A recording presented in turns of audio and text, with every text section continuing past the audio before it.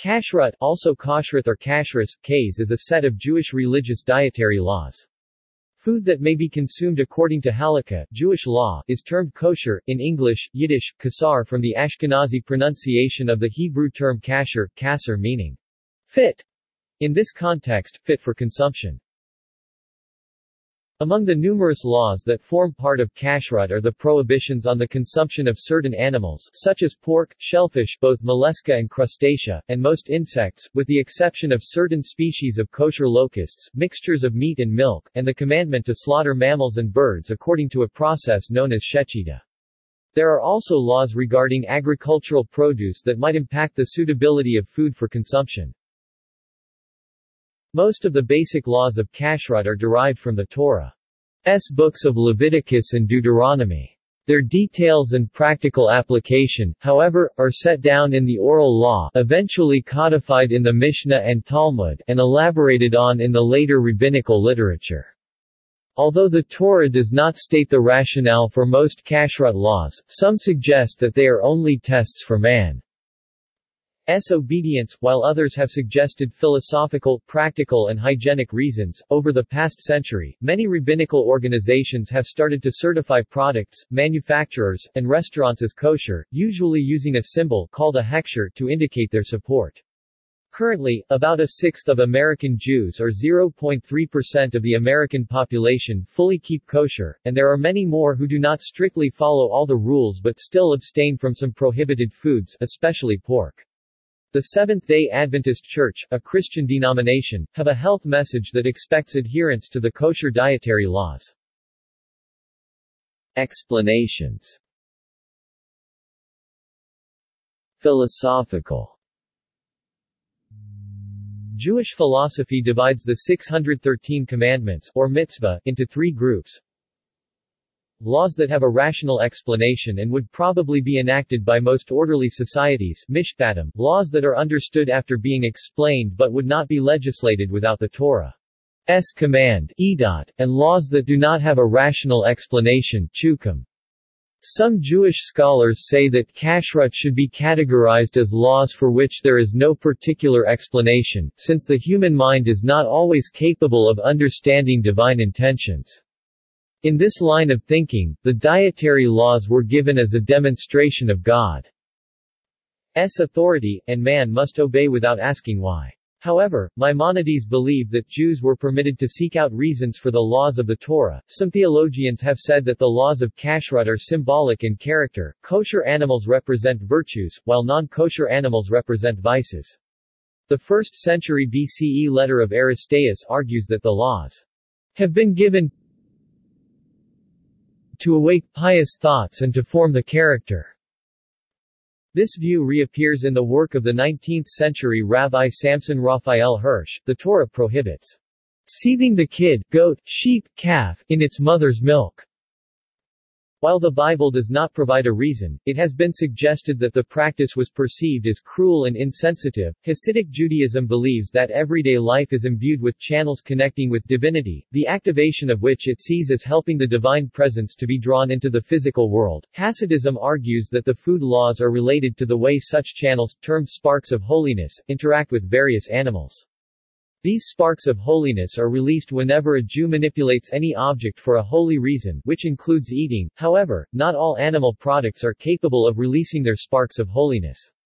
The Hasidic argument is that animals are imbued with signs that reveal the release of these sparks, and the signs are expressed in the biblical categorization of ritually clean and ritually unclean. According to Christian theologian Gordon J. Wenham, the purpose of kashrut was to help Jews maintain a distinct and separate existence from other peoples. He says that the effect of the laws was to prevent socialization and intermarriage with non-Jews, preventing Jewish identity from being diluted.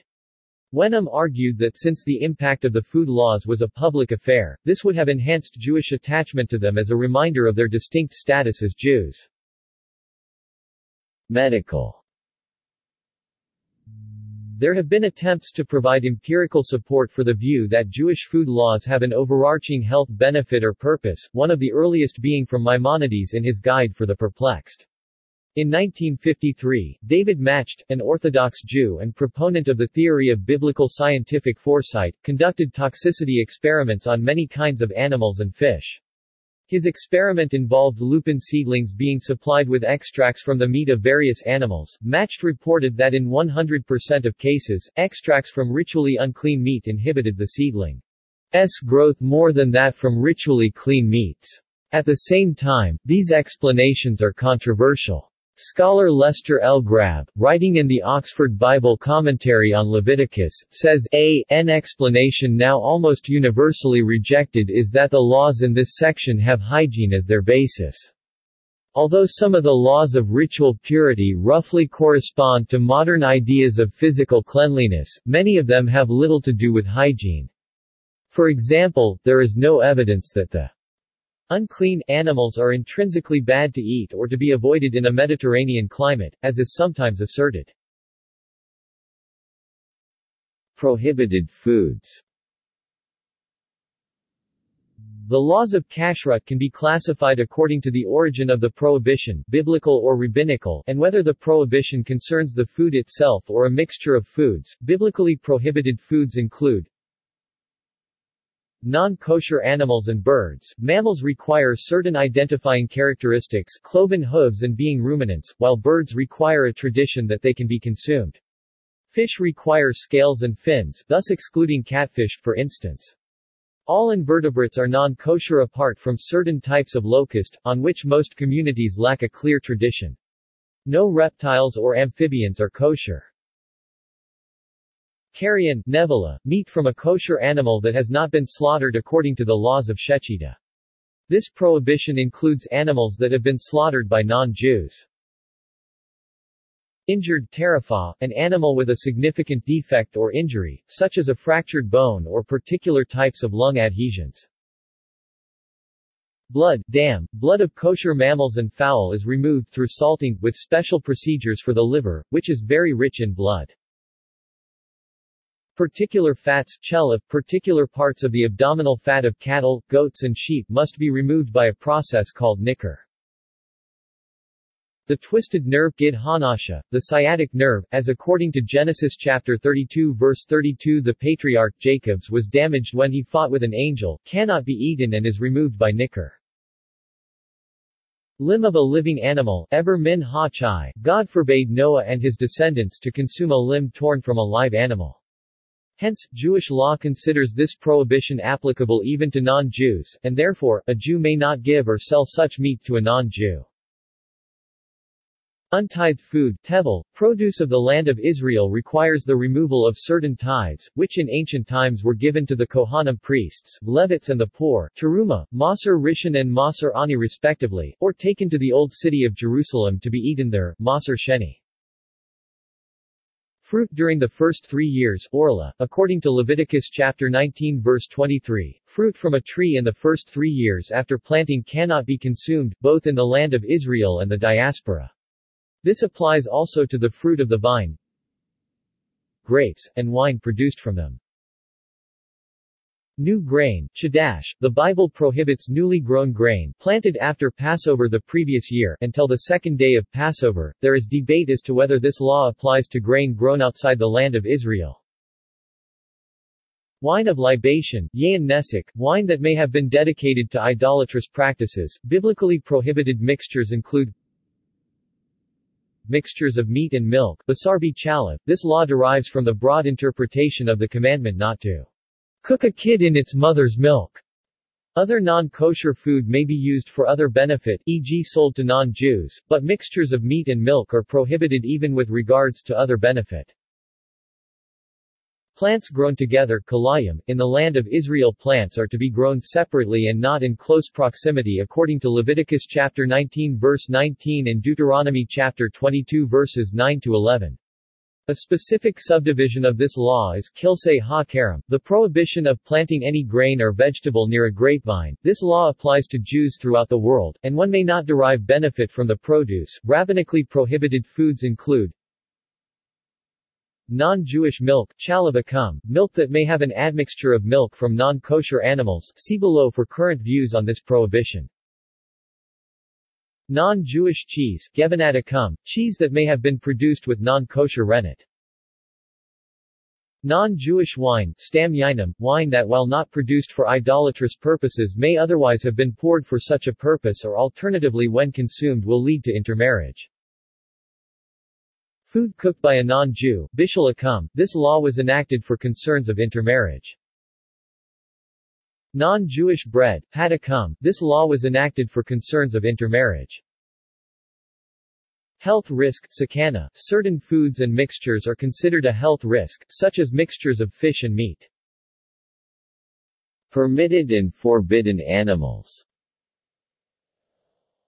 Only meat from particular species is permissible. Mammals that both chew their cud, ruminate, and have cloven hooves can be kosher. Animals with one characteristic but not the other, the camel, the hyrax, and the hare because they have no cloven hooves, and the pig because it does not ruminate, are specifically excluded. In 2008, a rabbinical ruling determined that giraffes and their milk are eligible to be considered kosher. The giraffe has both split hooves and chews its cud, characteristics of animals considered kosher. Findings from 2008 show that giraffe milk curdles, meeting kosher standards. Although kosher, the giraffe is not slaughtered today because the process would be very costly. Giraffes are difficult to restrain, and their use for food could cause the species to become endangered. Non-kosher birds are listed outright but the exact zoological references are disputed and some references refer to families of birds 24 are mentioned.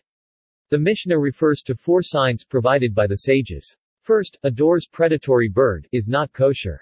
Additionally, kosher birds possess three physical characteristics, an extra toe in the back, which does not join the other toes in supporting the leg, a zefek crop, and a korkoban gizzard with a peelable lumen. However, individual Jews are barred from merely applying these regulations alone. An established tradition, Masara, is necessary to allow birds to be consumed, even if it can be substantiated that they meet all four criteria. The only exception to this is Turkey. There was a time when certain authorities considered the signs enough, so Jews started eating this bird without a masara because it possesses all the signs simanim in Hebrew. Fish must have fins and scales to be kosher. Shellfish and other non-fish water animals fauna are not kosher. See kosher species of fish. Insects are not kosher, except for certain species of kosher locust. Generally, any animal that eats other animals, whether they kill their food or eat carrion, is not kosher, as well as any animal that has been partially eaten by other animals. Separation of meat and milk Meat and milk, or derivatives, cannot be mixed in the sense that meat and dairy products are not served at the same meal, served or cooked in the same utensils, or stored together. Observant Jews have separate sets of dishes, and sometimes different kitchens, for meat and milk, and wait anywhere between 1 and 6 hours after eating meat before consuming milk products. The milchig and fleischig lit milky and meaty utensils and dishes are the commonly referred to Yiddish delineations between dairy and meat ones, respectively. Kosher slaughter Mammals and fowl must be slaughtered by a trained individual a shochet, using a special method of slaughter, shechita. Among other features, shechita slaughter severs the jugular vein, carotid artery, esophagus, and trachea in a single continuous cutting movement with an unserrated, sharp knife. Failure of any of these criteria renders the meat of the animal unsuitable. The body must be checked after slaughter to confirm that the animal had no medical condition or defect that would have caused it to die of its own accord within a year, which would make the meat unsuitable. These conditions TRIFO, include 70 different categories of injuries, diseases, and abnormalities whose presence renders the animal non-kosher. It is forbidden to consume certain parts of the animal, such as certain fats and the sciatic nerves from the legs, the process of excision being done by experts before the meat is sold. As much blood as possible must be removed through the kashering process, this is usually done through soaking and salting the meat, but the liver, as it is rich in blood, is grilled over an open flame. Fish and kosher locusts, for those who follow the traditions permitting them, must be killed before being eaten, but no particular method has been specified in Jewish law. Legal aspects of ritual slaughter are governed not only by Jewish law but civil law as well. Preparation of meats when an animal is ritually slaughtered shechted, the raw meat is traditionally cut, rinsed and salted prior to cooking. Salting of raw meat draws out the blood that lodges on the inner surface of the meat. Salting is made with any coarse grain of salt, while the meat is laid over a grating or colander to allow for drainage, and where the salt is allowed to remain on the meat for the duration of time that it takes to walk 1 biblical mile 8 ppx, 18 to 24 minutes. Afterwards, the residue of salt is rinsed away with water, and the meat cooked. Meat that is roasted requires no prior salting, as fire acts as a natural purgatory of blood. A late commentary on the Shulchan Aruch known as the Taz Zahav, on Yoreh De'ah 69, 516, writes that the pieces of meat can be very thick when salting. The Yemenite Jewish practice, however, follows Rabbi Saadia Gaon who required that the meat not be larger than half a rodel, IECA, 216 grams when salting. This allows the effects of the salt to penetrate. Some Orthodox Jewish communities require the additional stricture of submersing raw meat in boiling water prior to cooking it, a practice known as halita, Hebrew, halith blanching. This was believed to constrict the blood lodged within the meat, to prevent its oozing out when it is eaten. The raw meat is left in the pot of boiling water for as long as it takes for the meat to whiten on its outer layer. If someone wanted to use the water for soup after making halita in the same pot, he simply scoops out the film, froth and scum that surface in the boiling water. Halita is not required when roasting meat over a fire, as the fire constricts the blood. Kosher utensils Utensils used for non-kosher foods become non-kosher, and make even otherwise kosher food prepared with them non-kosher. Some such utensils, depending on the material they are made from, can be made suitable for preparing kosher food again by immersion in boiling water or by the application of a blowtorch. Food prepared in a manner that violates the Shabbat Sabbath may not be eaten, although in certain instances it is permitted after the Shabbat is over. Passover laws Passover has special dietary rules, the most important of which is the prohibition on eating leavened bread or derivatives of this, which are known as hametz. This prohibition is derived from Exodus chapter 12 verse 15. Utensils used in preparing and serving hametz are also forbidden on Passover unless they have been ritually cleansed kashered. Observant Jews often keep separate sets of meat and dairy utensils for Passover use only. In addition, some groups follow various eating restrictions on Passover that go beyond the rules of kashrut, such as not eating gebrochts or garlic. Produce of the land of Israel Biblical rules also control the use of agriculture produce. For produce grown in the land of Israel a modified version of the biblical tithes must be applied, including Terumot Hamasser, Maser Rishon, Maser Sheni, and Maser Ani. Untithed produce is called tevel, the fruit of the first three years of a tree. S growth or replanting are forbidden for eating or any other use as orla, produce grown in the land of Israel on the seventh year obtains k.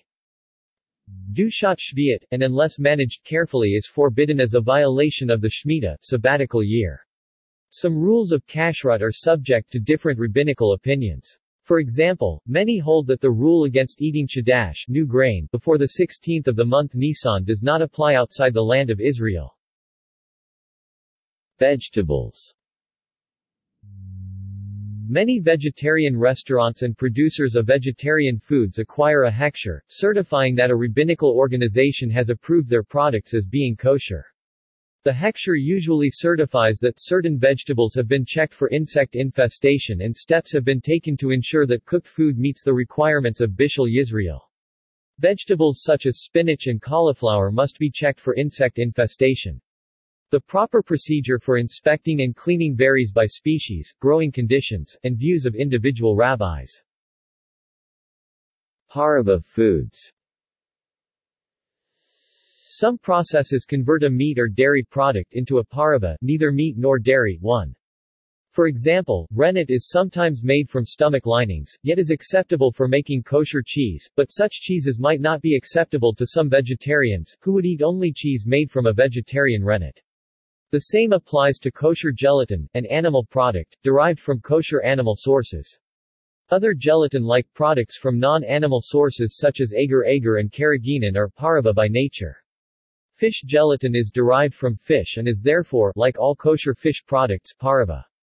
Eggs are also considered pareve despite being an animal product. Kashrut has procedures by which equipment can be cleaned of its previous non-kosher use, but that might be inadequate for those with allergies, vegetarians, or adherents to other religious statutes. For example, dairy manufacturing equipment can be cleaned well enough that the rabbis grant pareve status to products manufactured with it. Nevertheless, someone with a strong allergic sensitivity to dairy products might still react to the dairy residue, and that is why some products that are legitimately pareve carry milk. Warnings. Genetically modified foods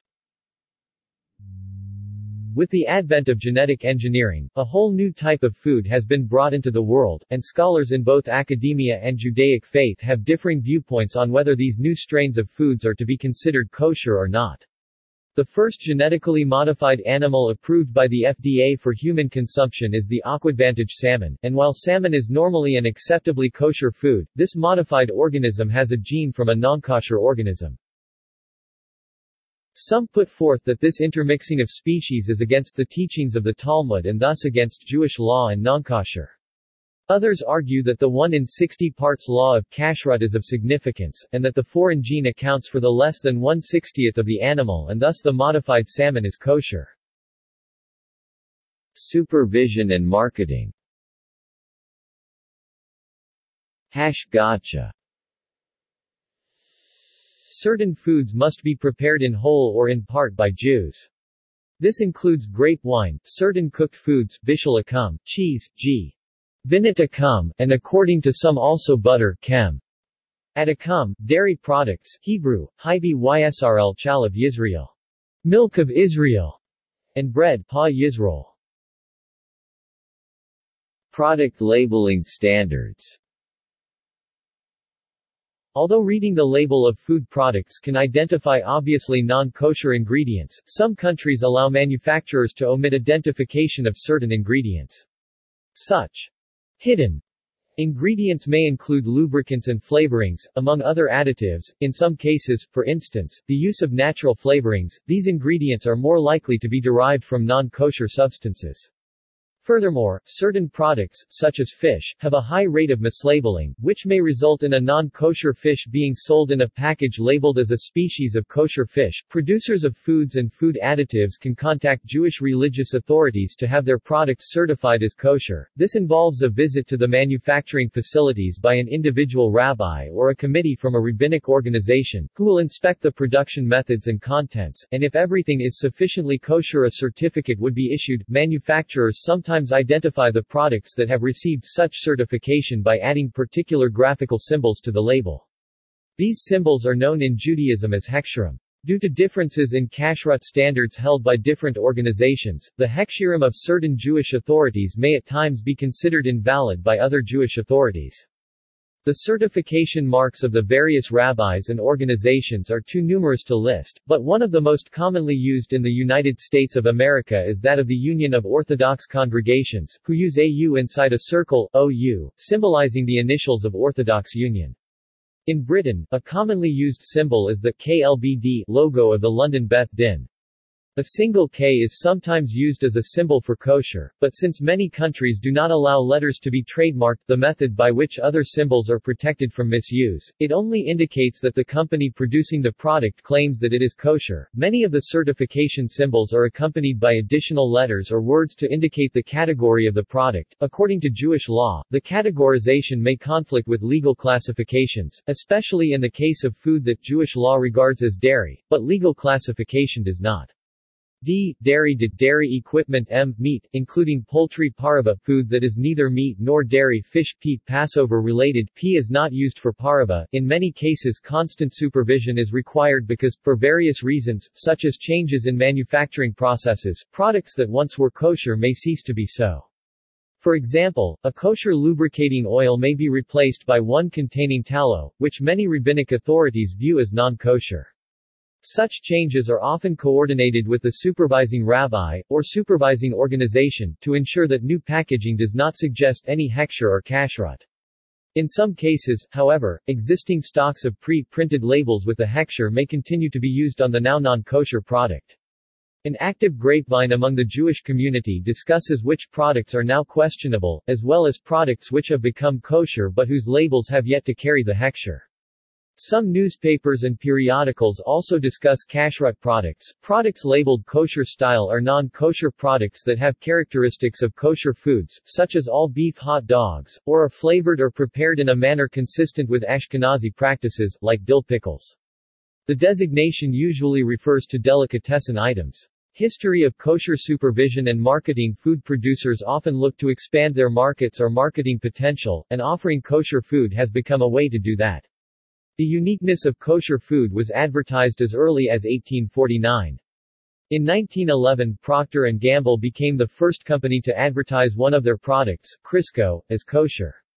Over the next two decades, companies such as Lender's Bagels, Maxwell House, Manischewitz, and Empire evolved and gave the kosher market more shelf space. In the 1960s, Hebrew National Hot Dogs launched a We Answer to a Higher Authority campaign to appeal to Jews and non-Jews alike. From that point on, kosher became a symbol for both quality and value.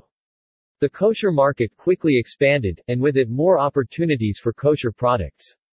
Menachem Lubinsky, founder of the Kosherfest Trade Fair, estimates as many as 14 million kosher consumers and $40 billion in sales of kosher products in the USA. In 2014, the Israeli Defense Forces decided to allow female kosher supervisors to work in its kitchens on military bases, and the first women kosher inspectors were certified in Israel. Legal usage advertising standards laws in many jurisdictions prohibit the use of the phrase kosher in a product's labeling unless the producer can show that the product conforms to Jewish dietary laws. However, different jurisdictions often define the legal qualifications for conforming to Jewish dietary laws differently. For example, in some places the law may require that a rabbi certify the kashrut nature, in others the rules of kosher are fully defined in law, and in others still it is sufficient that the manufacturer only believes that the product complies with Jewish dietary regulations. In several cases, laws restricting the use of the term kosher have later been determined to be illegal religious interference. Costs in the United States The cost of certification for mass-produced items is typically minuscule, and is usually more than offset by the advantages of being certified. In 1975 the New York Times estimated the cost per item for obtaining kosher certification at 6.5 millionths of a cent $0.00000065 per item for a General Foods frozen food item. According to a 2005 report by Burns and McDonnell, most U.S. national certifying agencies are nonprofit, only charging for supervision and on-site work, for which the on-site supervisor typically makes less per visit than an auto mechanic does per hour. However, re-engineering an existing manufacturing process can be costly. Certification usually leads to increased revenues by opening up additional markets to Jews who keep kosher, Muslims who keep halal, Seventh-day Adventists who keep the main laws of kosher diet, vegetarians, and the lactose intolerant who wish to avoid dairy products products that are reliably certified as pareve meet this criterion.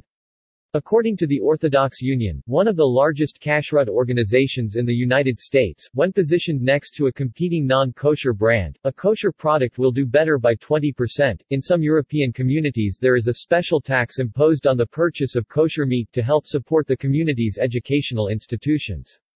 In 2009 delegates at a meeting of the Rabbinical Council of Europe broadly agreed that the tax which supports the rabbinate, mikvahs and other communal facilities should be reduced. While the supermarket Tesco sells a whole chicken for 2 pounds, its kosher counterpart of similar weight costs 5 to 6 times more. Society and Culture Adherence A 2013 survey found that 22% of American Jews surveyed claimed to keep kosher in the home. Many Jews observe kashrut partially, by abstaining from pork or shellfish, or by not drinking milk with a meat dish. Some keep kosher at home but will eat in a non-kosher restaurant. In 2012, one analysis of the specialty food market in North America estimated that only 15% of kosher consumers were Jewish. Muslims, Hindus, and people with allergies to dairy foods often consider the kosher pareve designation as an assurance that a food contains no animal-derived ingredients, including milk and all of its derivatives. However, since kosher pareve foods may contain honey, eggs, or fish, strict vegetarians cannot rely on the certification. Linguistics in ancient Hebrew kosher, Hebrew, kasar means be advantageous, proper, suitable, or succeed according to the Brown Driver Briggs Hebrew and English lexicon. In modern Hebrew, it generally refers to kashrut but it can also sometimes mean proper. For example, the Babylonian Talmud uses kosher in the sense of virtuous, when referring to Darius I as a kosher king. Darius, a Persian king, assisted in building the Second Temple. In English, kosher often means legitimate, acceptable, permissible, genuine, or authentic. The word kosher is also part of some common product names. Sometimes it is used as an abbreviation of koshering, meaning the process for making something kosher. For example, kosher salt is a form of salt with irregularly shaped crystals, making it particularly suitable for preparing meat according to the rules of kashrut, because the increased surface area of the crystals absorbs blood more effectively. At other times it is used as a synonym for Jewish tradition, for example, a kosher dill pickle is simply a pickle made in the traditional manner of Jewish New York City pickle makers, using a generous addition of garlic to the brine, and is not necessarily compliant with the traditional Jewish food laws. See also Dietary laws in Judaism Eco-kashrut Israeli cuisine Jewish cuisine Kosher Certification Agency Kosher tax Sabbath food preparation Jewish vegetarianism Jewish veg Treif Treif Unclean animal dietary laws in other religions Ahimsa, non-violence to living beings. Buddhist cuisine and vegetarianism. Christian dietary laws. Comparison of Islamic and Jewish dietary laws. Hindu dietary laws. Islamic dietary laws. Jhatka References Further reading. External links. Chabad.org, kosher. Kashrut.com Spanish kosher. OU kosher